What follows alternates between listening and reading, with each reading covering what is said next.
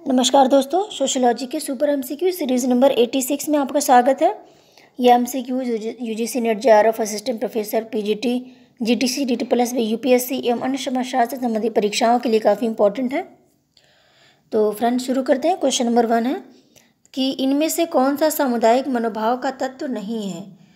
ठीक है तो सामुदायिक मनोभाव यानी समुदाय होने के लिए कौन सी चीज़ की ज़रूरत नहीं पड़ती है, ठीक है? तो देखिए, जिस क्वेश्चन में नहीं शब्द आता है, आप पहले उसको अंडरलाइन कर लेंगे तो आपका क्वेश्चन जो है वो गलत होने के चांसेस कम हो जाएँगे, ठीक है?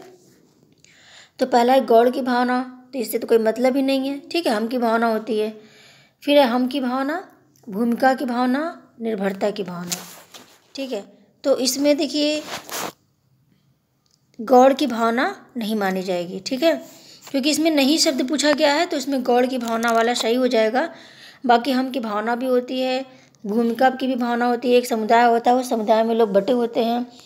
और एक हम की भावना के द्वारा लोग अपनी भूमिकाओं को याद रखते हैं, ठीक है? उस भूमिकाओं को के प्रति जिम्मेदार होते हैं। तो भूमिका की भी भावना होती है, निर्भरता की भी भावना होती है, क्योंकि कुछ लोग इसमें सीनियर होते हैं, कुछ जूनियर होते हैं, ठीक है? तो जो जूनियर होते हैं वो सीनियर लोगों की बातों को मानते हैं। जैसे बड़े बुज़ुर्ग की बातों को मानना ये सब निर्भरता की भावना के अंतर्गत आता है, ठीक है? तो समुदाय में पाया जाता है ये भी। तो इसमें देखिए आंसर नंबर वन में ए सही हो जाएगा क्योंकि गौड़ की भावना कहीं पे भी समुदाय से संबंधित नहीं है, जबकि हम की भावना, भूमिका की भावना और निर्भरता की भावना इनसे संबंधित है, ठीक है? फिर देखिए क्वेश्चन नंबर टू है कि एक प्राथमिक समूह से बना होता है। एक प्राथमिक समूह किससे बना होता है? लघु इकाई। ठीक है? प्राथमिक समूह देखिए छोटी छोटी चीज़ों से बना होता है तो ये समाज की सबसे लघुत्तम इकाई होती है। फिर देखिए, क्वेश्चन नंबर थ्री है। निम्न में से किसने यह तर्क दिया है कि संरचनाएँ सामाजिक कर्ता से वाह्य वस्तु नहीं होती? प्रत्युत, कर्ताओं द्वारा उनके व्यवहारों से उत्पादित एवं पुनरुत्पादित नियम एवं साधन होते हैं। तो ये देखिए, एंथनी गिडेंस के, जो नियम और साधन की बात उन्होंने की थी, और उनके चैप्टर मैंने बताया हुआ भी है। इन्होंने संरचना को क्या माना है? कर्ता से बाहर की वस्तु नहीं माना। कर्ता को प्रमुख माना है इन्होंने। और इन्होंने माना है कि समाज जितना कर्ता पर निर्भर है, कर्ता उतना ही समाज पर निर्भर है। तो किसी एक व्यक्ति को हम महत्वपूर्ण नहीं मान सकते। इसको उन्होंने ड्यूलिटी ऑफ़ स्ट्रक्चर के अंतर्गत बताया हुआ है। ठीक है? और ये आप उनके चैप्टर में गिडेंस एंथनी गिडेंस का चैप्टर देख लेंगे तो उनके सारे जो थियोरी है, अच्छी से समझ में आ जाएगी। ठीक है?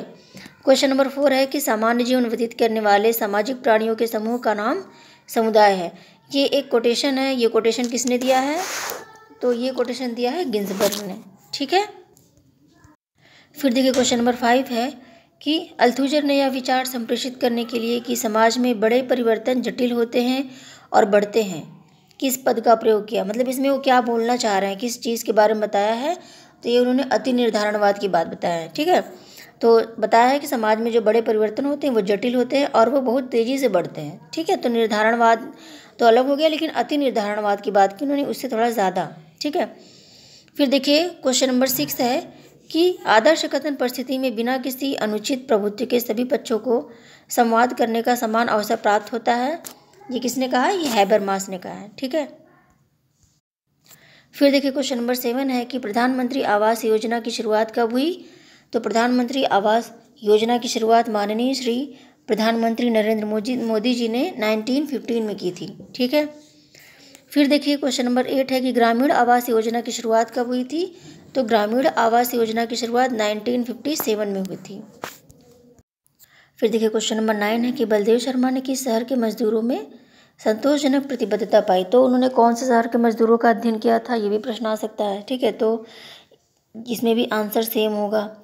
और दूसरा जो क्वेश्चन है, वो ये बन सकता है कि बलदेव शर्मा ने किस शहर के अध्ययन करके मजदूरों में बहुत ज़्यादा एकता पाई, ठीक है? तो अहमदाबाद, बलदेव शर्मा ने अहमदाबाद के मजदूरों का अध्ययन किया था और उन्होंने पाया कि मजदूरों में बहुत ज़्यादा प्रतिबद्धता है एक दूसरे के साथ मिलजुल कर कार्य करने की क्षमता होती है। फिर देखिए क्वेश्चन नंबर टेन है कि जिस वस्तु की पूर्ति पर पूर्ण अधिकार हो तो उसे कौन सा बाज़ार कहेंगे? तो एकाधिकार कहेंगे उसको, जब किसी वस्तु पर किसी एक व्यक्ति या संस्था द्वारा पूरी पूरी पूरी तरह से एकाधिकार कर लिया जाता है। जब भी उस वस्तु को बिक्री किया जाएगा तो उस संस्था के द्वारा या फिर उस व्यक्ति के द्वारा ही किया जाएगा। तो इसको एकाधिकार कहेंगे, ठीक है? जैसे मान लीजिए प्रधानमंत्री जी ने एयरपोर्ट को बेच दिया, ठीक है? या फिर रेलवे को बेच दिया तो जिस व्यक्ति, जो व्यक्ति उसको खरीदेगा उसी के पास केवल अधिकार होगा उससे संबंधित कानून बनाने का और उससे संबंधित चीज़ें के करने का, ठीक है? लोगों का किराया कितना बढ़ाना है वो डिसाइड करेगा। कैसी व्यवस्थाएँ होंगी वो डिसाइड करेगा अलग अलग चेंजेस वो करेगा, ठीक है? तो एकाधिकार का मतलब होता है कि जब एक व्यक्ति या संस्था का उस पर अधिकार हो जाता है। ओके फ्रेंड्स तो वीडियो को लाइक शेयर और सब्सक्राइब ज़रूर करें। ज़्यादा से ज़्यादा अपने दोस्तों को शेयर करें वीडियोस को। और जो लोग कल छत्तीसगढ़ का पेपर देने वाले हैं, उनको बहुत बहुत शुभकामनाएँ। उनका पेपर बहुत अच्छा हो। और ये जो एग्ज़ाम वो देने जा रहे हैं, वो उनके जीवन का आखिरी एग्ज़ाम साबित हो, ठीक है? इसके बाद पुनः उन्हें परीक्षा देने की ज़रूरत ना पड़े और उन सभी का सिलेक्शन हो। तो इसी विश्वास के साथ मिलते हैं फिर अगले वीडियो में, तब तक के लिए नमस्कार।